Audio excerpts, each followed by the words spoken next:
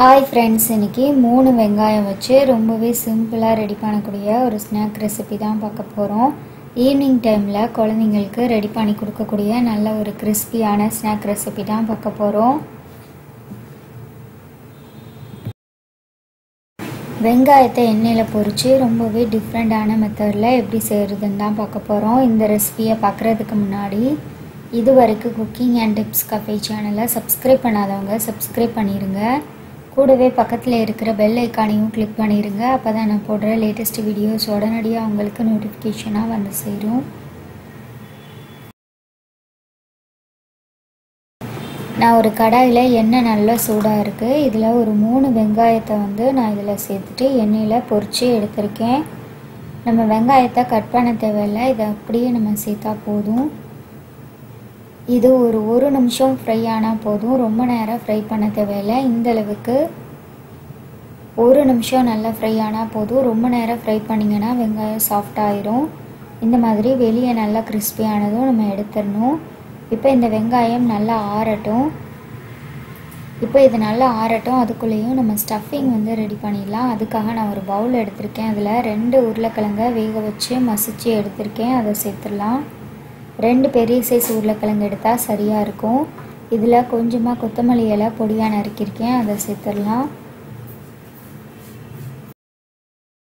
இப்போ இதில் காரத்துக்கு ஏற்ற மாதிரி மிளகாத்தூள் வந்து ஒரு டீஸ்பூன் போல் சேர்த்துருக்கேன். சேர்த்துட்டு இதில் ஒரு கால் டீஸ்பூன் அளவுக்கு உப்பு சேர்த்துட்டு இதை நல்லா வந்து கலந்துடணும். இதை நல்லா கலந்துட்டோம்னா நமக்கு உருளைக்கிழங்கு மசாலா வந்து ரெடி ஆயிரும். இதில் உப்பு கொஞ்சமாக சேர்த்தாலே போதும். உருளைக்கிழங்கு ரொம்ப உப்பு எழுக்காது. அதனால கொஞ்சமாக உப்பு சேர்த்துக்கோங்க. அவ்வளோதான் இப்போது ஃபில்லிங் வந்து ரெடியாக இருக்குது இப்போ இது இருக்கட்டும். இப்போ வெங்காயத்தை வந்து ரெடி பண்ணிடலாம். வெங்காயம் நல்லா ஆறி இருக்குது இப்போ இந்த மாதிரி இதை பாதியாக கட் பண்ணிவிட்டு இந்த மாதிரி ஒன்று ஒன்றா நம்ம எடுத்துடணும். நம்ம எண்ணெயில் பொரிச்சதுனால நல்லா வந்து சாஃப்டாக இருக்கும். இப்போ வெங்காயம் எல்லாத்தையும் இது மாதிரி நான் உரித்து எடுத்திருக்கேன். இந்த மாதிரி உரித்து எடுத்திங்கன்னா சரியாக இருக்கும். இப்போ இதில் நடுப்பகுதியில் உள்ள வெங்காயத்தை நான் பொடியாக நறுக்கிட்டு நான் இந்த உருளைக்கிழங்கு மசாலாவோட சேர்த்துருக்கேன். இப்போது நடுப்பகுதியில் உள்ள வெங்காயத்தை நான் இதில் நறுக்கிட்டு இதில் சேர்த்துட்டு நல்லா இதை கலந்துருக்கேன். இது சாப்பிடும்போது ரொம்ப நல்லாயிருக்கும் இப்போ இந்த உருளைக்கிழங்கு மசாலாவை சின்ன சின்ன உருண்டைகளாக உருட்டி ஒரு பிளேட்டில் மாற்றி வச்சிடலாம். இப்போ உருளைக்கிழங்கு எல்லாமே ரெடியாக இருக்குது இந்த வெங்காயத்துக்குள்ளே நம்ம இதை வைக்கணும்.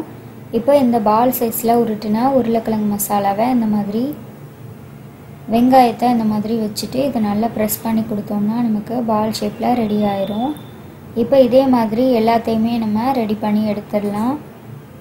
ரொம்ப ஈஸியாக இதை ரெடி பண்ணிடலாம். இப்போ எல்லாத்தையுமே நான் இதே மாதிரி ரெடி பண்ணி எடுத்திருக்கேன். இதை முக்கி பொரிக்கிறதுக்காக இப்போ கடலை மாவு வந்து ரெடி பண்ணணும். அதுக்காக நான் ஒரு சின்ன பவுல் எடுத்திருக்கேன். அதில் அரை கப் கடலை மாவு கால் கப் அரிசி மாவு சேர்த்துருக்கேன்.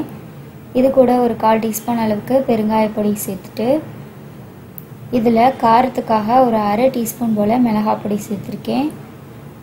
சேர்த்துட்டு இதில் தேவையான அளவு உப்பு சேர்த்துட்டு நல்லா இதில் கொஞ்சமாக தண்ணி ஊற்றி இதை பஜ்ஜி மாவு பதத்தில் நல்லா கரைக்கணும். இது பஜ்ஜி மாவு பதத்தில் இருந்தால் சரியாக இருக்கும். இந்த அளவுக்கு இருக்கணும். இப்போ இதுவும் ரெடியாக இருக்குது முக்கி பொறிக்கிறதுக்காக கடலை மாவும் ரெடியாக இருக்குது இப்போ எண்ணெயில் இதை எப்படி ரெடி பண்ணுறதுன்னு பார்ப்போம். இப்போ ஒரு கடாயில் எண்ணெய் நல்லா சூடாக இருக்குது இதில் இந்த கடலை மாவில் முக்கி நம்ம உருளைக்கிழங்கு போண்டா ரெடி பண்ணுற மாதிரியே இதை வந்து போட்டு பொறிக்கணும் இப்போ எண்ணெய் நல்லா சூடானதுக்கப்புறம் மீடியம் ஃப்ளேமில் மாற்றிட்டு இது எல்லாத்தையுமே நம்ம ரெடி பண்ணி எடுக்கணும். ஒரு பக்கம் நல்லா கிறிஸ்பியானதுக்கப்புறம் மெதுவாக இதை திருப்பி விடணும். ரெண்டு பக்கமும் நல்லா வந்து பொன்னிறம் ஆனதுக்கப்புறம் தான் நம்ம எடுக்கணும். இப்போ ரெண்டு பக்கமும் நல்லா கிறிஸ்பியாகி வந்திருக்கு. இப்போ இதை ஒரு டிஷ்யூ பேப்பர்லாம் மாற்றிடலாம் அவ்வளோதான் சுவையான வெங்காயம் உருளைக்கிழங்கு எல்லாம் சேர்த்து ஒரு ஈவினிங் டைமில் சாப்பிட்றதுக்கு ஸ்நாக் வந்து ரெடி ஆகிட்டு இப்போ எல்லாத்தையுமே நான் இதே மாதிரி ரெடி பண்ணி எடுத்திருக்கேன். அவ்வளோதான் சூப்பரான டேஸ்ட்டில் ஒரு ஸ்நாக் வந்து ரெடி ஆகிட்டு இந்த போண்டா ரெசிபி உங்களுக்கு பிடிச்சிருந்ததுன்னா இந்த வீடியோவை மறக்காமல் உங்கள் ஃப்ரெண்ட்ஸ் அண்ட் ஃபேமிலியோடு ஷேர் பண்ணிக்கோங்க.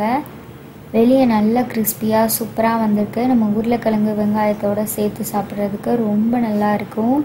கண்டிப்பாக எல்லாருமே ட்ரை பண்ணி பாருங்கள் ட்ரை பண்ணி பார்த்துட்டு உங்களுக்கு எப்படி வந்ததுங்கிறத கமெண்ட் பாக்ஸில் கண்டிப்பாக சொல்லுங்கள் நான் இதை கட் பண்ணி காட்டியிருக்கேன். வெங்காயம் எல்லாமே நல்லா சாஃப்டாகி சூப்பராக வந்திருக்கு. சாப்பிட்றதுக்கும் ரொம்ப நல்லா இருந்தது. கண்டிப்பாக எல்லாருமே ட்ரை பண்ணி பாருங்கள் எல்லாருக்குமே ரொம்ப ரொம்ப பிடிக்கும்.